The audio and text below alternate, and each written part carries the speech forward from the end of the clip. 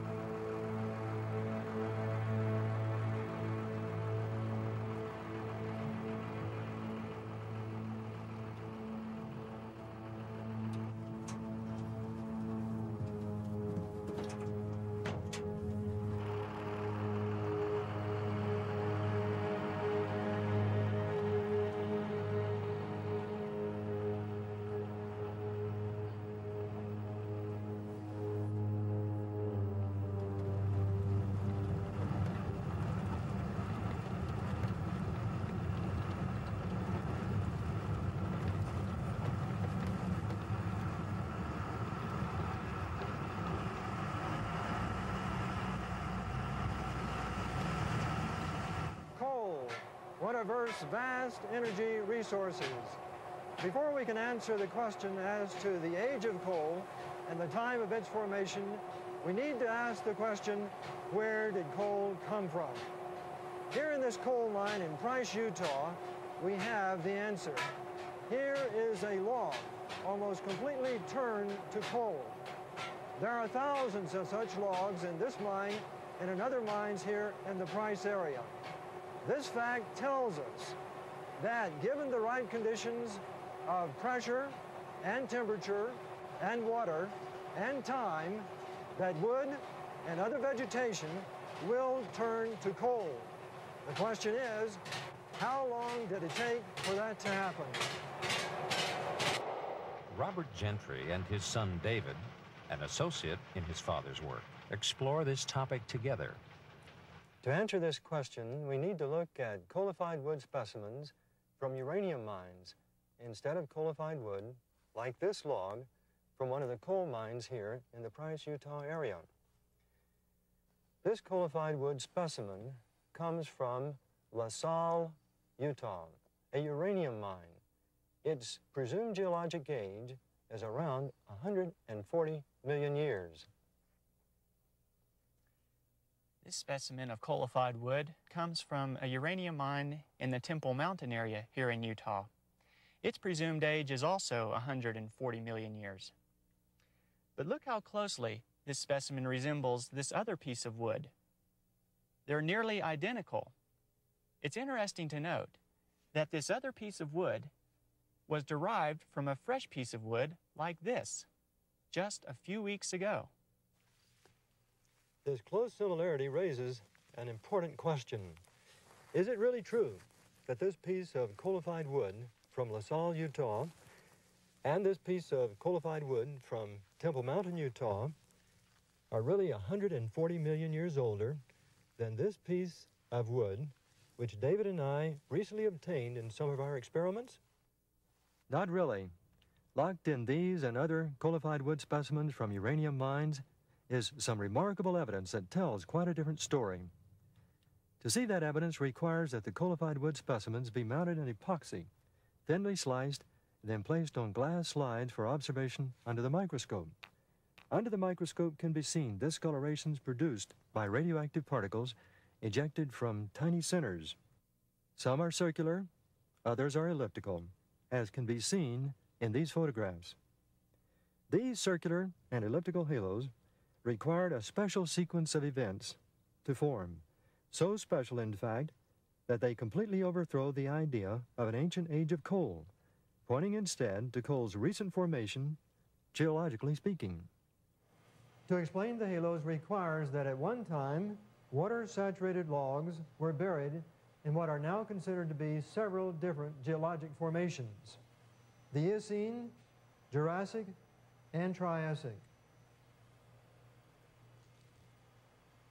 Later, uranium solutions infiltrated those water-saturated logs and uranium decay products, radioactivity, was collected at tiny sites in each of those logs. That radioactivity decayed over the next several months to a half year, ejecting particles and producing spherical radiation damage regions, halos around those tiny sites. In cross-section, they appear to be circular. They were formed by the decay of secondary polonium, derived from the decay of uranium. Then there was a compression event Something applied pressure to the top of all these formations. The logs were compressed, and when the logs were compressed, the halos were compressed. This brings us to an important point. We know that these logs had not turned to coal at the time the compression occurred. Here's a piece of coal. Coal doesn't compress. It shatters, as we can easily see.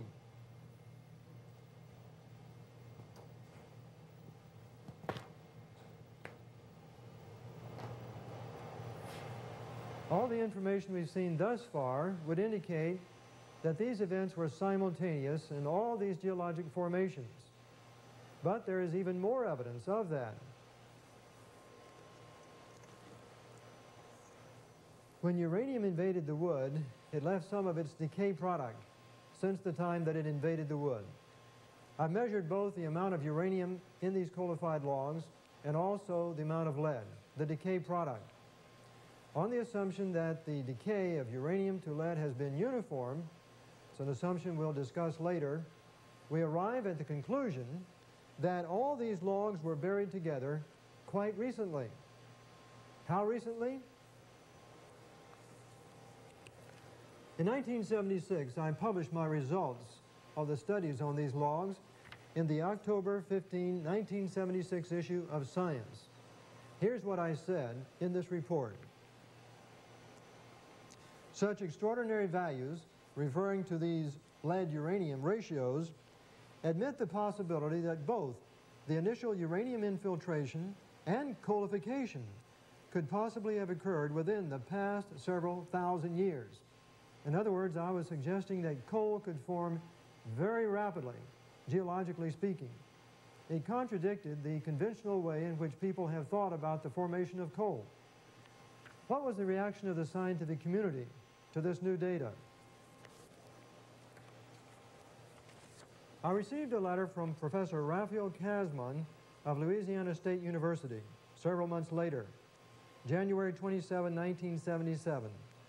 Dear Dr. Gentry, I have been patiently scanning the letters section of Science since the publication by you and your colleagues of your findings on radio halos. The silence is deafening. I think it can be interpreted as stunned silence. Your results will not greatly trouble the engineer, but the impact on the science of geology in possibly changing the accepted views as to the duration of geologic time will be felt for many years. Very truly yours, Raphael Kazmann. Soon thereafter, Professor Kazmann organized a symposium. It was entitled, It's About Time, Four and a Half Billion Years. Is the Earth really four and a half billion years old? When the results of the symposium were written up and published in the September 1978 issue of GeoTimes, here's what was said. However, since the deposits from which the coalified wood was obtained are considered to be at least of Cretaceous age and possibly of Jurassic or Triassic age, the ratio between uranium-238 and lead-206 should be low. Instead, some such halos have been found with uranium-lead ratios ranging from about 2,200 to over 64,000. If isotope ratios are to be used as a basis for geologic dating, then presently accepted ages may be too high by a factor of 10,000, admitting the possibility that the ages of the formation are to be measured in millennia. Translated, that means several thousand years for the formation of coal and all of those geologic formations. This information has remained unchallenged and unrefuted in the open scientific literature since it was published in 1976. We are therefore entitled to draw some rather firm conclusions about the data.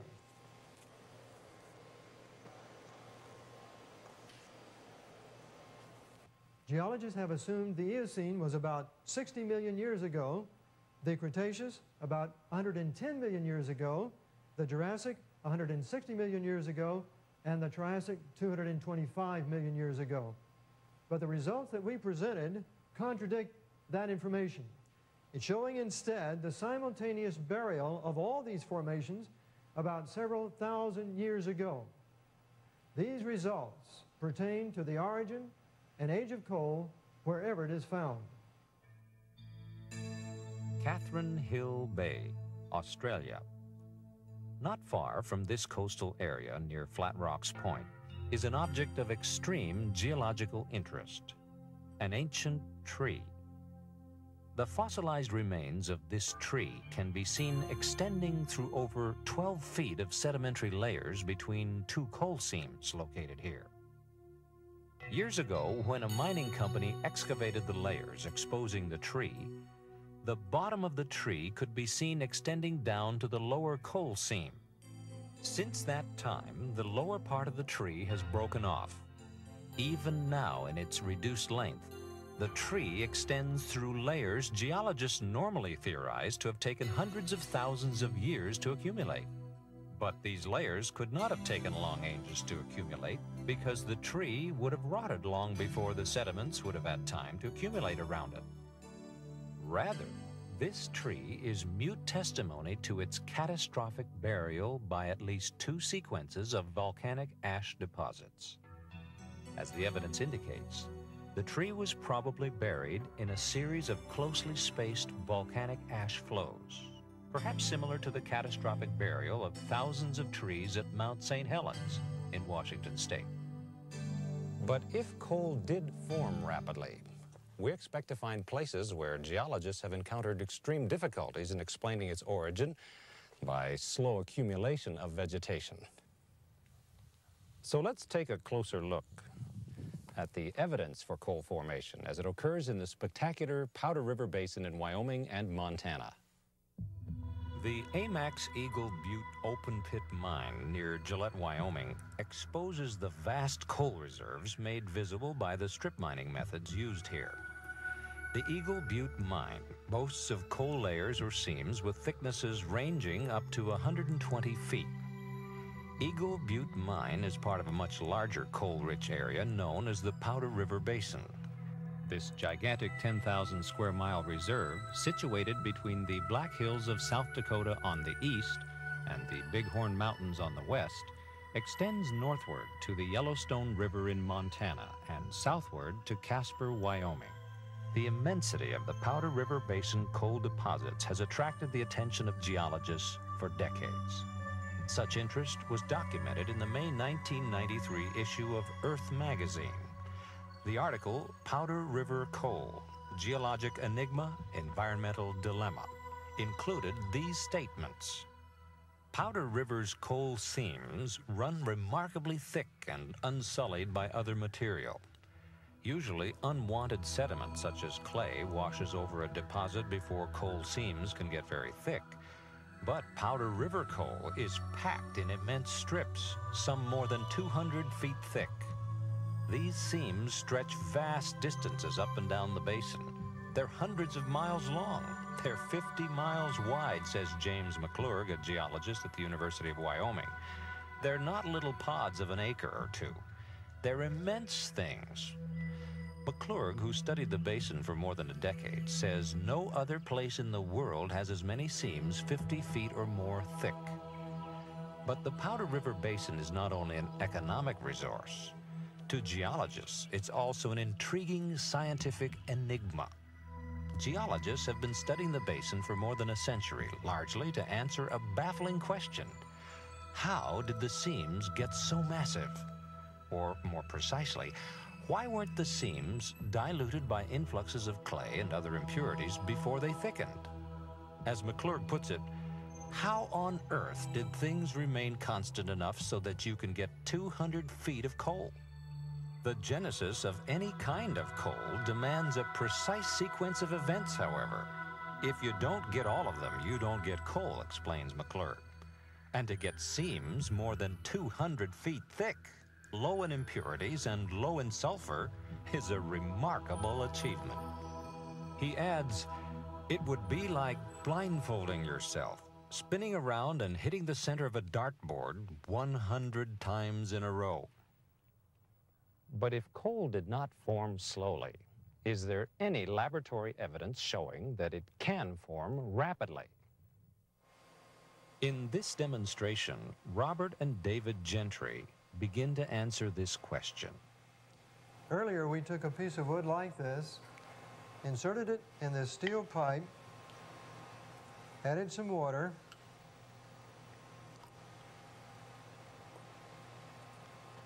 and then sealed it up. The next step is to put it in the oven at about 160 degrees centigrade for two weeks. Now we're ready to examine the results of this experiment.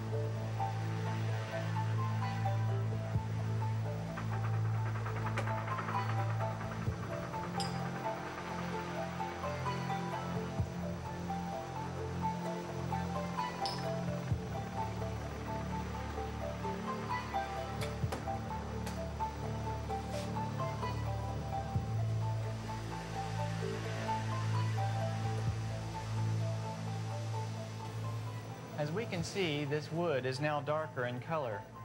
It's also softer. A chemical reaction between the steam and the wood under pressure has caused these changes to occur. This specimen isn't coal yet, but clearly the process of coalification has begun. The question is, would coal result if this experiment, or a variation of it, continued for a longer period of time? Scientists at Argonne National Laboratory have answered this question in a series of experiments performed in the 1980s. One of the earliest reports about their work appeared in the magazine Chemical and Engineering News in the November 21, 1983 issue. On page 42 of this issue, we read the following quote. Chemists at Argonne National Laboratory have succeeded in making a type of artificial coal from naturally occurring materials. The process is much less severe than formerly thought to be necessary and provides some new insights into coal structure and how to alter it. Later, after their published reports appeared in the science journal Organic Geochemistry, the British science journal Nature reported on the success of their experiments. On page 316 of the journal Nature, March 28, 1985, we read the following. Winans and his colleagues at Argonne National Laboratory have taken less than one year to prepare a thoroughly characterized synthetic coal.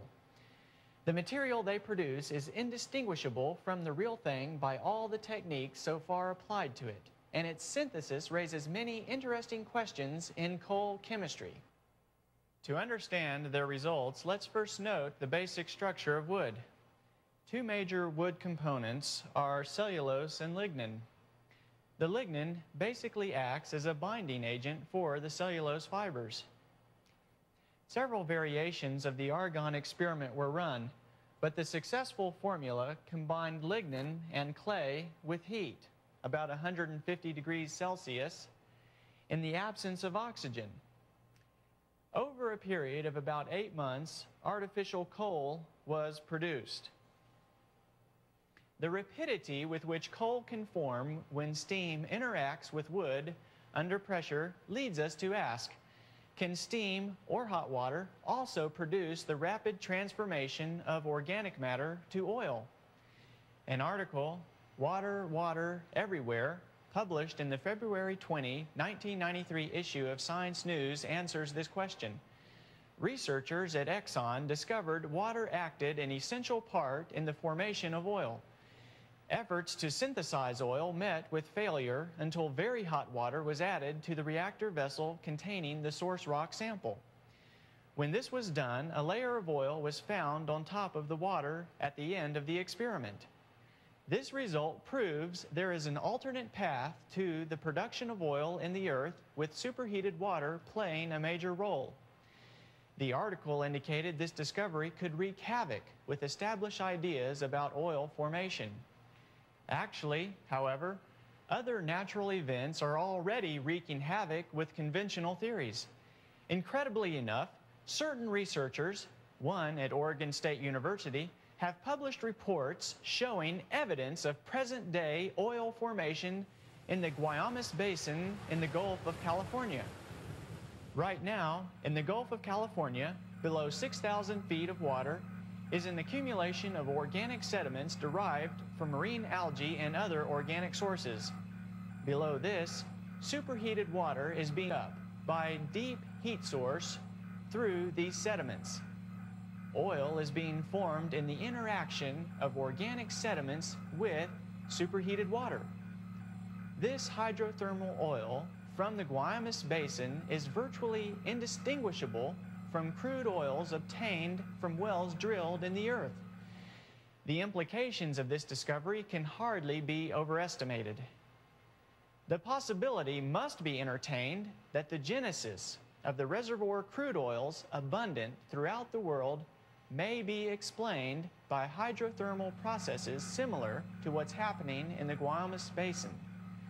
But instead of an open dispersion of oil directly into the seawater, a closed system could easily be visualized where a reservoir of crude could be collected. It is conceivable that a worldwide flood was instrumental in the production of the tremendous oil reserves of the Middle East and elsewhere. The vast amounts of vegetation buried by such a flood, mixed with superheated water similar to that detected in the Guaymas Basin, could produce oil in the volumes we see today. Depending on the burial conditions, the organic matter would be transformed to either oil or coal. Is there a model of Earth history incorporating these features? One which allows the formation of the world's large oil and coal reserves over a much shorter time than has been previously thought possible. What about a model based on the record of Earth's history given in Genesis? The Bible describes Earth being called into existence about 6,000 years ago, and Earth originally covered with lush vegetation, then devastated by a worldwide flood about 1,700 years later. This timescale certainly fits with all the scientific discoveries I've made, and just as certainly, water once covered this Earth. In 1927, Noel Odell discovered marine shelly fossils near the very top of Mount Everest. Mountains rising out of the waters is how the Bible describes the end of the worldwide flood. According to that description, the shells near the top of Mount Everest are no surprise at all. And coal and oil, are they the result of the rapid devastation and burial of lush vegetation by a worldwide flood? If so, what about the worldwide flood could have caused such rapid burial?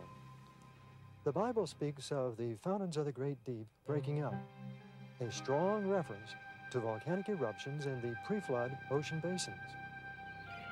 This is significant because Ocean Survey researchers recently found an area on the Pacific Ocean floor thickly concentrated with over 1,000 volcanoes. The size of this area is approximately the same as Washington State. Additional ocean floor surveys may well yield many more such discoveries. The likelihood of extensive volcanic activity during the biblical flood leads us to consider one of the most famous volcanic eruptions in modern time. On May 18, 1980, a giant landslide on the north face of Mount St. Helens in Washington state accompanied an explosion equivalent to 20 million tons of TNT.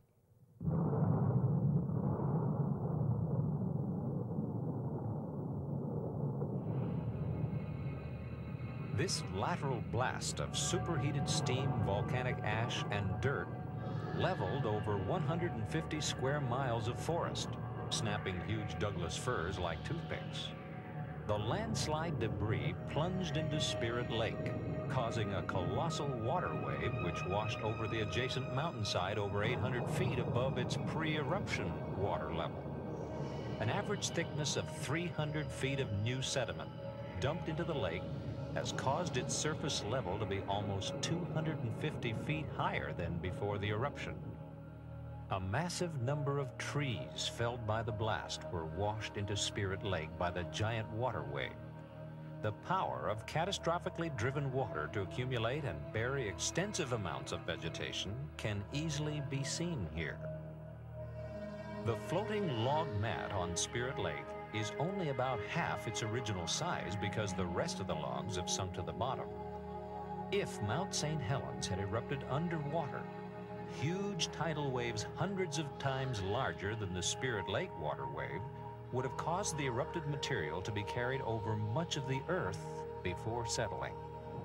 If thousands of these volcanoes were active, we can begin to imagine the destructive effects a worldwide flood would have had on the topography of the Earth's surface. This leads us to ask, could such a worldwide flood described in the Bible also be capable of explaining other geological phenomena, such as the Grand Canyon? Some geologists would have you believe that sedimentary deposits were laid down over many millions of years. What they want you to believe is just not true. The fact is, the geology of the Grand Canyon fits a model based on the occurrence of a worldwide flood. In an attempt to learn where the floodwaters came from, where they went after the flood, and what geological events occurred during the flood. We went to Dr. Walter Brown, the former chief of science and technology studies at the Air War College and an associate professor at the U.S. Air Force Academy. His development of the hydroplate theory provides the key that unlocks many mysteries about the flood and its effects. We can see on our planet 17 very strange features that can now be systematically explained as a result of a cataclysmic global flood whose waters erupted from subterranean chambers with an energy release exceeding the explosion of 10 billion hydrogen bombs. This explanation shows us just how rapidly major mountains formed. It explains the coal and oil deposits, rapid continental drift, why ocean floors have huge trenches and hundreds of canyons and volcanoes, it explains the formation of the layered strata and most of the fossil record, the so-called ice ages, and major land canyons, especially the Grand Canyon. The pre-flood Earth probably had one very large supercontinent containing lush vegetation, seas, rivers, and minor mountains. According to the hydroplate theory, the pre-flood Earth had a lot of subterranean water, about half of what is now in our oceans. This water was in interconnected chambers forming a thin spherical shell about half a mile thick, perhaps 10 miles below the Earth's surface. Increasing pressure in the subterranean water chamber stretched the overlying crust just as a balloon stretches when the pressure inside increases. Failure in the crust began with a microscopic crack which grew in both directions at about three miles per second. The crack, following the path of least resistance, encircled the globe in about two hours. As the crack raced around the Earth, the overlying crust opened up like a rip in a tightly stretched cloth. The subterranean water was under extreme pressure because of the weight of the 10 miles of rock pressing down on it. So the water exploded violently out of the rupture. Calculations show that all along this globe encircling crack, fountains of water jetted supersonically over 20 miles into the atmosphere. The spray from this enormous fountain produced torrential rains such as the earth has never experienced before or after. The Bible states that all the fountains of the great deep burst open on one day. And it describes these events about four and a half thousand years ago, which we can now tie together scientifically in cause and effect order as the hydroplate theory. The fountains of the great deep and the expanding steam produced violent winds, some of the water jetting high above the cold stratosphere froze into supercooled ice crystals and produced some massive ice dumps, burying, suffocating, and instantly freezing many animals. The high-pressure fountains eroded the rock on both sides of the crack and even threw up the limy contents of many pre-flood seas. Huge volumes of sediments settled out of this muddy water all over the earth. These sediments trapped and buried plants and animals forming the fossil record. The flooding uprooted vegetation, moving it to regions where it accumulated and quickly became coal and oil by processes we can duplicate in the laboratory today. Experiments show that as erosion widened the rupture, its width became so great that the compressed rock beneath the subterranean chamber sprung upward, giving birth to the mid-oceanic ridge that wraps around the earth like the seam of a baseball. The continental plates, the hydroplates, still with lubricating water beneath them, slid downhill away from the rising mid-Atlantic ridge.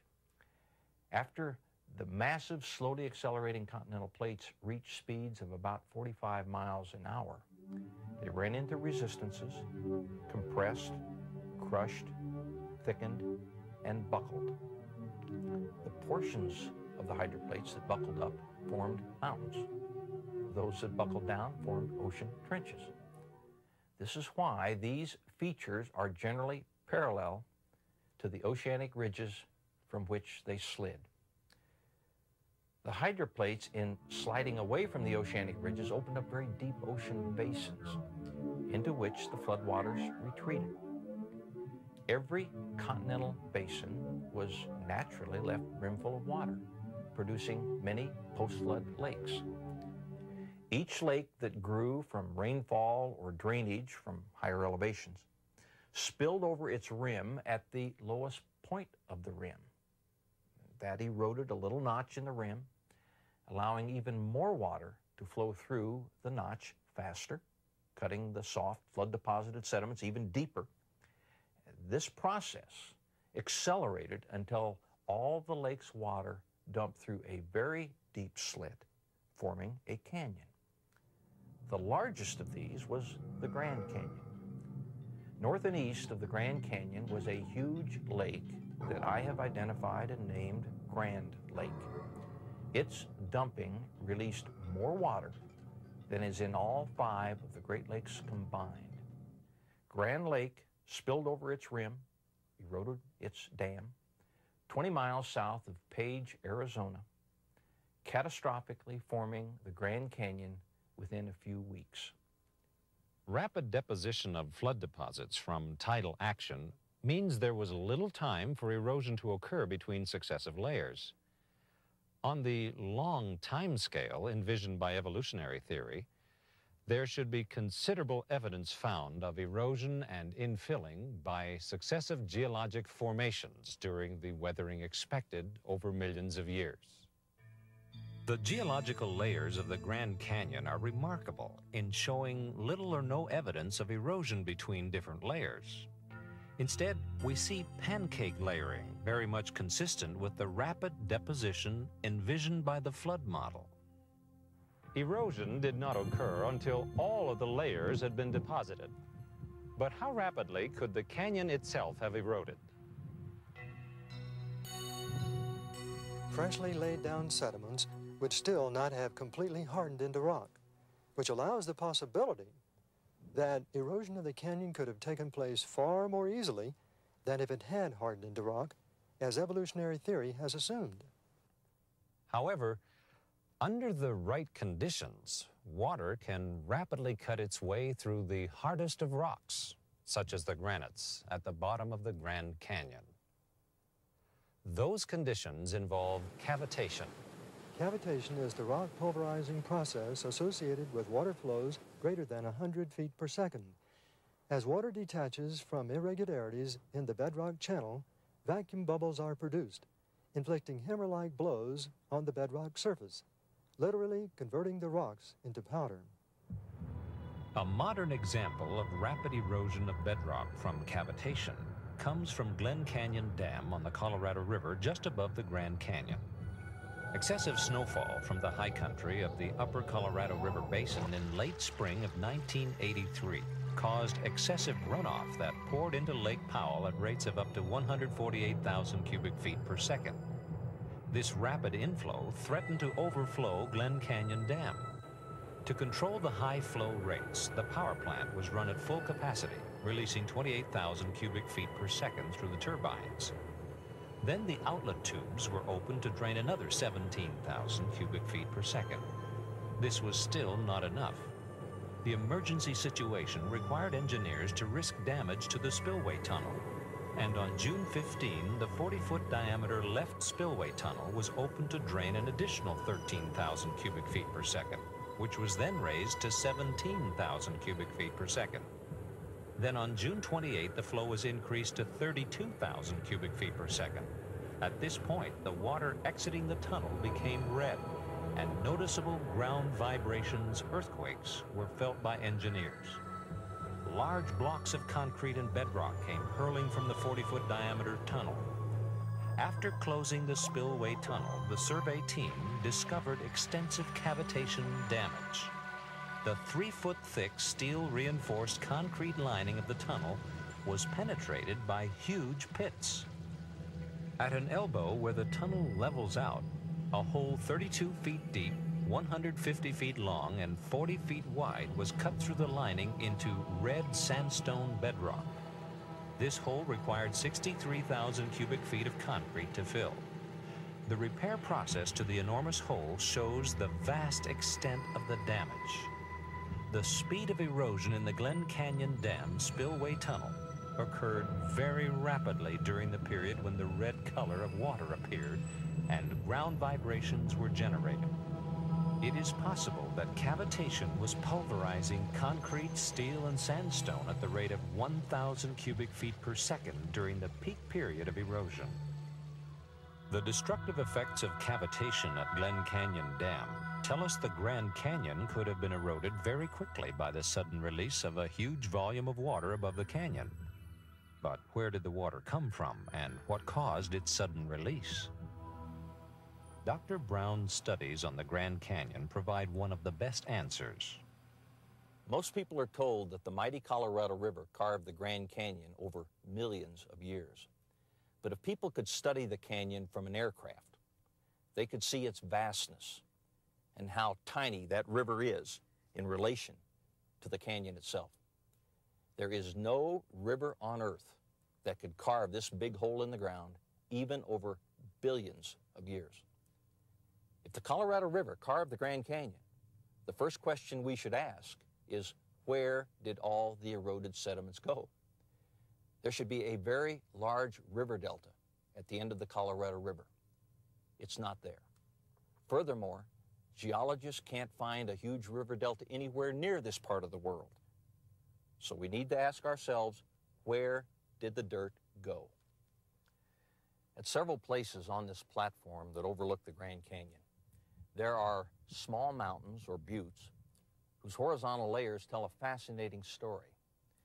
The layers line up with each other, so obviously they were at one time connected. Something must have come along and removed a several thousand foot thick layer of softer material that was once where we now are. So we need to explain not only where the dirt from inside the vast 200 mile long canyon went, but also where did the thousands of feet of dirt go that was once above where we are now and spread out for tens of thousands of square miles. This particular formation, called Red Butte, not only still has some of these horizontal layers, but there is another clue sitting on top. The topmost layer is a lava flow. Lava only flows downhill. Therefore, at one time, the land surrounding the top of this butte must have been even higher. So again, where did all that dirt go? Grand Lake spilled over and eroded its dam catastrophically, forming the Grand Canyon to the southwest within a few weeks. One other large post-flood lake the geologists recognized was once near here was Hopi Lake. As Grand Lake catastrophically dumped, I believe it eroded the western boundary of Hopi Lake, causing it to also spill out. Where did all the dirt go? It was spread out over southern Arizona and parts of California and Nevada rapidly. The evidence supporting the biblical worldwide flood about 4,300 years ago is mounting. For the Grand Canyon, the flood explains how the sedimentary layers were rapidly deposited as the waters rose, and how they were quickly eroded as the waters subsided. We have also seen where the dirt went. And just as we have seen evidence of the rapid burial of pre-flood vegetation to produce today's coal and oil, we will now see fossil evidence of rapid burial of pre-flood life forms. Indeed, some of the most remarkable evidence of rapid deposition of flood sediments comes from well-preserved fossils found in certain parts of the Earth. Perhaps the best fossil evidence for the rapid burial of plant and marine life is found in southwestern Wyoming at Fossil Butte National Monument. During the past 100 years, scientists and private collectors have collected thousands of almost perfectly preserved fossils from sites within the monument, especially here at Fossil Butte itself. It's an amazingly diverse collection of fossil turtles, palm fronds, crocodiles, leaves, insects, branches with nuts still intact. There are even fossil stingrays, whose skeletons of cartilage are known to disintegrate rapidly, proving that burial of all these life forms was indeed quite rapid. But this isn't all. Perhaps the most spectacular evidence of rapid burial of all the fossils within the monument are the billions of the more than 20 kinds of fish. This slab of rock in the Monument Visitor Center, which measures about 9 feet by 5 feet, shows vividly just a few of that number. Amazingly, many of the fish retain not only their entire skeletons, but their teeth, delicate scales, and skin as well. The vast number of fossil fish at Fossil Butte has left evolutionary geologists with a vast unsolved mystery. In two sections entitled Ideal Conditions for Fossil Making and Unsolved Mysteries, the National Park Service's brochure on Fossil Butte reveals the contradictions that result when using an ancient Earth time frame to explain rapid burial. On one hand, it speculates on the existence of a lake, wherein many animals and plants probably died natural deaths. On the other hand, the evidence forces the conclusion that, on several occasions, huge numbers of fish were killed suddenly. The brochure then equates those several occasions to rapid burial by precipitation of calcium carbonate, the primary rock mineral enclosing the fossils, year after year for hundreds of thousands of years. This is a truly incredible scenario. To have such a vast number of fish reproducing within a short time, only to be wiped out by a succeeding catastrophe a year or so later, and this to be repeated several hundred thousand times. Paleontologists should long ago have seen the fallacy in this scenario, if for no other reason, because of the beautifully preserved fossil palm fronds. Put very simply, palm trees don't grow in water, and their fronds are not ripped off by gentle breezes. Only a catastrophe of huge proportions can account for the perfectly preserved fossils at Fossil Butte. The rocks there are, like many in the Grand Canyon, primarily calcium carbonate. They all had a common source the interaction of volcanic gases with lime thrown up from the basins of the pre flood seas. This commonality, together with the evidence of rapid deposition and burial, tells us plainly that Fossil Butte and the Grand Canyon originated in the same great event, the catastrophe of the worldwide flood. But is there any other evidence which would confirm that Fossil Butte is only as old as the flood? The answer is yes. Geologists have repeatedly identified the Fossil Butte site as belonging to the Eocene, which they assume was 50 to 60 million years ago. But we have already seen from my studies on coalified wood and the chart on the collapse of geologic time that the Eocene fits into the framework of a worldwide flood only several thousand years ago. So there is no question that the entire Fossil Butte occurrence fits only within the framework of a worldwide flood and a young age of the Earth. And there is more. Not everything was buried on the first day of the flood.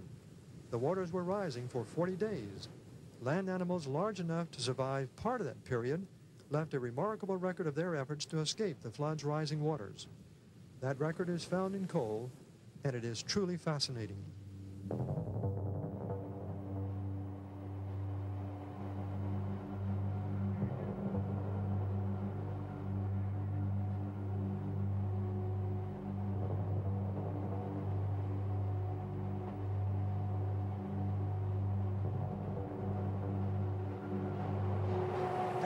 Dinosaur tracks in coal.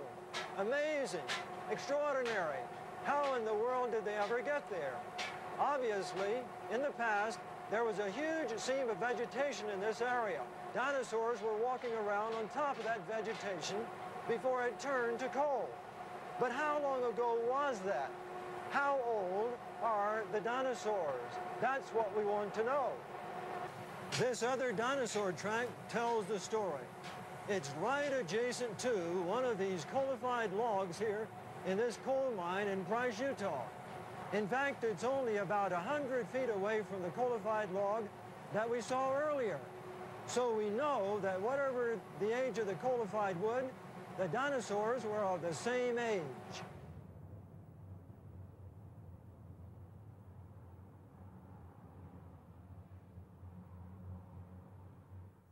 In the coal mine, we saw two dinosaur tracks. Were those the only two dinosaur tracks in the coal mines here in eastern Utah? Not at all. Here in the College of Eastern Utah Prehistoric Museum, look what has been taken out of these coal mines. Look at all these dinosaur tracks, different sizes. Some flesh-eating dinosaurs, some plant-eating dinosaurs. Why were they all together? To answer that question, let's look at the Kenilworth Mine fossil map. It says there are at least eight different track types within 100 meters on the mine's roof surface. Over here on the map itself, here we can see all the tracks and the coalified logs. According to the sign, those dinosaurs were tromping around in a swamp. Common sense tells you that can't be true. There's no swamp in the world that will preserve such tracks. All those dinosaurs were together for a reason. They were trying to escape the rising waters of a worldwide flood. These charts help illustrate how dinosaur tracks could have formed at the time of the flood and why they exist in coal today. The pre-flood earth was covered with lush vegetation, a scene of beauty everywhere. Then came the flood. Torrential rain and the fountains of the great deep bursting open caused Earth's lush vegetation to be swept up in the flood's rising waters. This vegetation accumulated in great mats and then was deposited by the ebb and flow of tidal waves produced by volcanic activity in the pre-flood seas. Each tidal action left its deposit of sediment within or over the layer of vegetation. The dinosaurs, being quite heavy, were able to survive many of the early tidal actions as they sought to escape the rise of the flood. When the tidal waters briefly receded, the dinosaurs continued their search for higher ground, leaving their tracks in the sediments that were freshly deposited over the vegetation. At times, their great weight caused their tracks to penetrate the sedimentary layer into the mat of vegetation. That mat of vegetation has since turned into coal, and wherever the dinosaurs left their original imprints, there we still find an indelible record of their tracks in coal today. If all these dinosaurs were congregating together and swept up by the rising waters of the flood, we might also expect that they would be buried together. And indeed, here at Dinosaur National Monument in Vernal, Utah, we see a giant fossil dinosaur graveyard.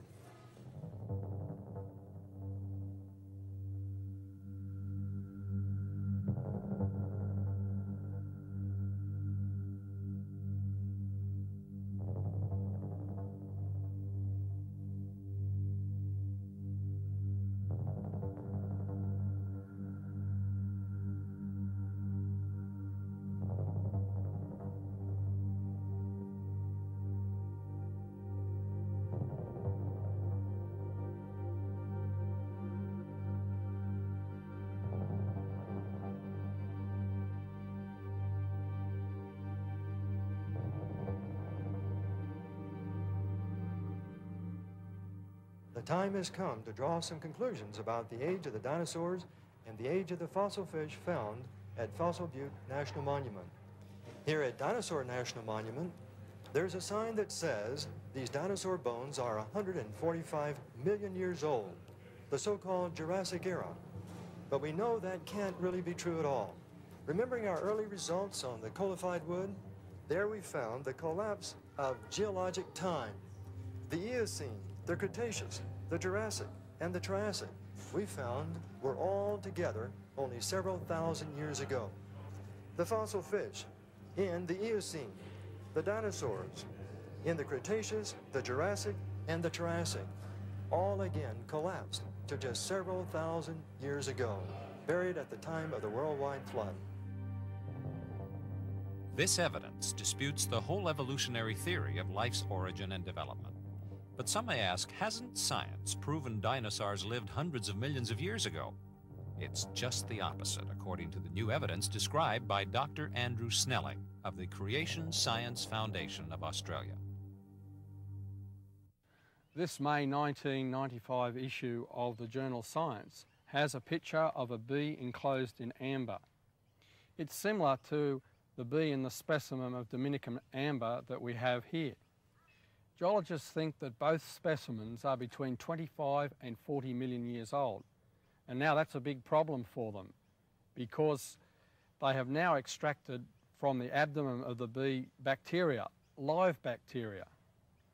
This result supports earlier findings of over 1,000 types of bacteria from other insects, some that date with the dinosaurs. Until now, many evolutionists thought those findings were due to laboratory contamination. They just couldn't believe bacteria could survive for tens or hundreds of millions of years. But this new result, coming after four years of careful analysis, rules out laboratory contamination. As a scientist, the reason why I believe the bacteria were found in the bee in the Dominican amber and in other fossils previously of the same age as the dinosaurs is because they're really all quite young. These have to be the result of being encased and buried in a worldwide flood, a catastrophic flood only several thousand years ago. All this agrees with the evidence for the young age of oil and coal that we've already seen and clearly is consistent with the view that the varied life forms found in nature originated with the supernatural events of Creation Week only about 6,000 years ago. At this point, many may wonder how this startling summation can be reconciled with the evolutionary view of Earth history. They may ask, do we not know from radiometric dating that Earth's basement rocks, the granites, formed repeatedly at different times and places over billions of years of evolutionary time? And do we not know that using these same methods that the fossils and sedimentary rocks are hundreds of millions of years old? The answer is a clear-cut no to both questions. Neither granites nor fossils have ages stamped on them when they are collected.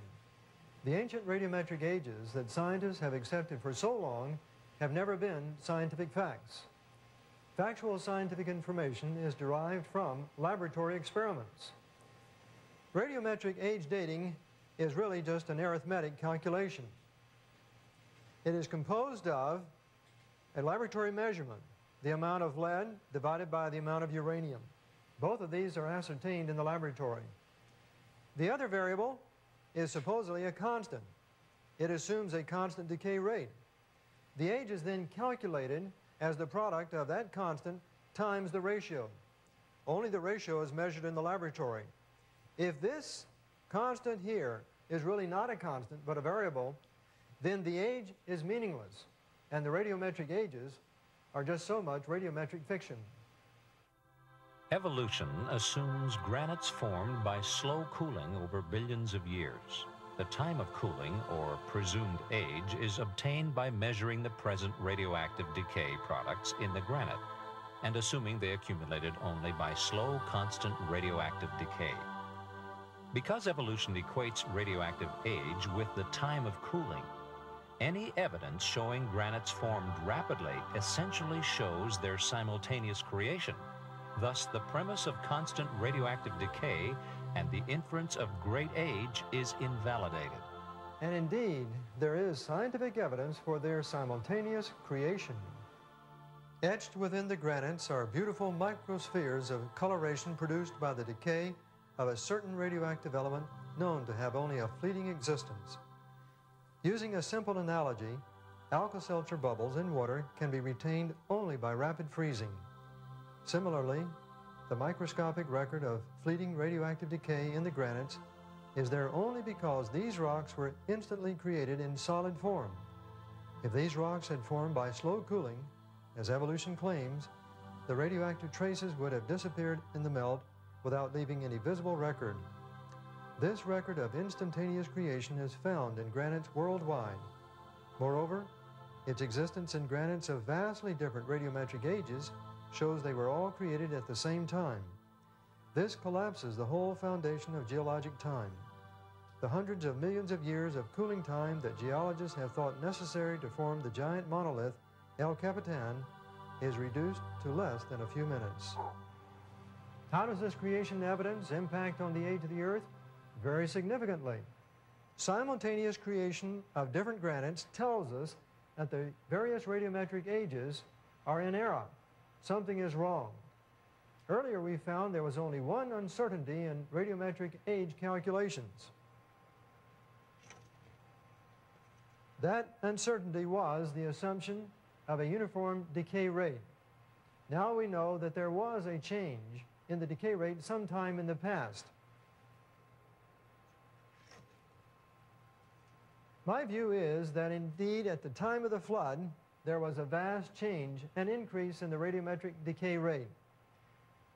Radioactivity then cannot be used for age dating until after the end of the decay rate change.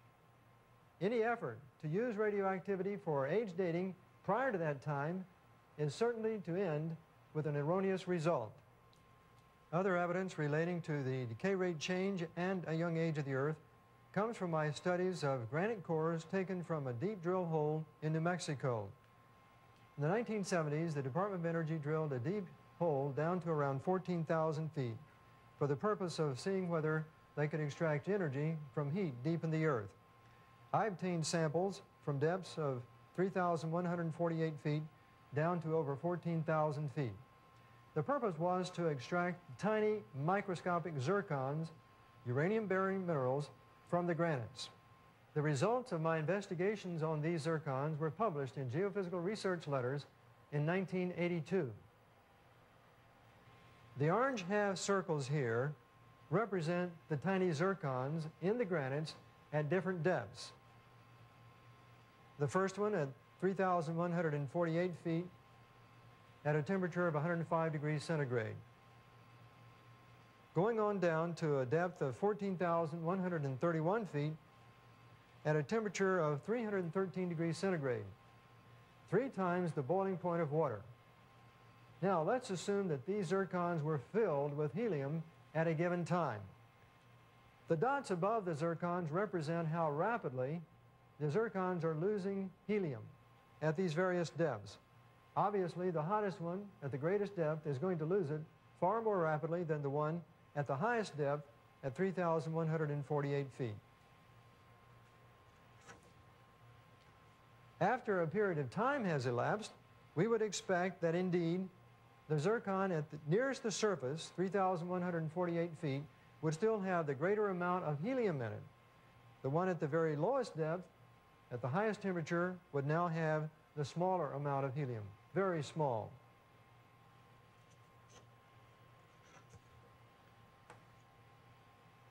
This last chart shows the actual experimental results, that we haven't found any helium whatsoever in the zircons at the greatest depths. We did find some at the first three depths, down to 197 degrees centigrade. Let's stop just for a moment and see if we can understand what was going on. Helium was being generated as uranium was decaying in these zircons. So the amount of helium in these zircons at various depths tells us something about the time at which the granite has been in existence at this particular temperature. The actual physical experimental results are shown now in the next chart. They're only meaningful as we make a comparison between what we would expect to find if indeed the Earth was four and a half billion years old. On the left, we see the amount expected if the Earth was four and a half billion years old. Only a very, very small amount. What we have pictured here is really a, a guesstimate, an approximation. There's so many variables relating to something supposedly that far back that we can't be very, very precise. We do know, however, it would only be a very, very small amount because helium, this decay product of uranium, escapes very rapidly the higher the temperature is. What we actually found, however, in the experiments was helium in the zircons diminishing, diminishing, diminishing, but still there at a temperature of 197 degrees centigrade. The weight of the scientific evidence has brought us to the collapse of evolutionary time. There is a young Earth creation time scale. The radiometric ages of the granites, stretching from 80 million to 4 billion years, is invalid. These granites, from Yosemite to the basement rocks of the Grand Canyon, to Japan and India, to the granites of Europe and Russia and Canada, were all the product of a simultaneous creation. We haven't proved that the Earth is 6,000 years old, but we have found evidence that is consistent with a 6,000 year age of the Earth. And we have shown that a several billion year age of the Earth is scientifically incorrect. We've captured only a brief glimpse of the various lines of scientific evidence that point to the truth and accuracy of the biblical record of Earth's recent creation and the Great Flood. Brief though our glimpse has been, the conclusion has been certain. The radioactive traces in coalified wood collapse the geological timescale for life on Earth from hundreds of millions of years to just thousands. The occurrence of the worldwide flood explains the rapid accumulation of vegetation responsible for Earth's vast coal and oil reserves. The young age of coal and its rapid formation in the laboratory, as well as the oil now forming in Guaymas Basin off the California coast, fits only into a young, not ancient, age of the Earth. Dinosaurs, their fossils buried in mass graveyards, and their tracks in coal are a mute reminder of the futile attempts of these creatures to escape the rising waters of a worldwide flood. The excess helium in deep granites provides concrete evidence the Earth's crustal rocks are young thus powerfully disproving the whole concept of an anciently evolving Earth. And finally, the fingerprints of creation, also found in the granites, the very rocks the Bible speaks of as Earth's foundation rocks, confirm these rocks were all the product of the same creation. This fact invalidates evolution's basic assumption of uniform radioactive decay and collapses the whole structure of evolutionary time. We must conclude, therefore, that evolution's four and a half billion year age of the Earth is nothing more than science fiction. Prior to viewing this evidence, perhaps few would have believed that the granite monoliths of Yosemite were part of Earth's creation about 6,000 years ago. This is somewhat understandable, seeing that we live in a secular world dominated by the belief that science supports the evolutionary view of an ancient Earth. But now that this evidence for creation and a young Earth has exposed evolution's fundamental flaw, we realize there has always been a bridge connecting science with biblical creation. Why didn't we recognize it sooner? It seems we were blinded by the idea we could explain all of Earth history by the natural laws that we now experience we forgot that God's infinite creative power is far above our limited understanding of the universe and the laws which govern it. So things that fitted into evolution were emphasized, so much so that it seemed natural law really did explain everything. The hard things that couldn't be explained were put on the back burner. We tended to forget them, thinking they would someday be solved. What we fail to admit to ourselves is that many of those hard things were really impossible to explain within the framework of evolution. That they were actually evidence for either creation or a worldwide flood. The evidence presented has given us reason to rethink our beliefs about origins based on valid scientific data. Clearly, the belief system that fits all the scientific facts we presented is the record of creation given in Genesis and repeated by Moses in Exodus 20:11. For in six days the Lord made heaven and earth, the sea, and all that in them is, and rested the seventh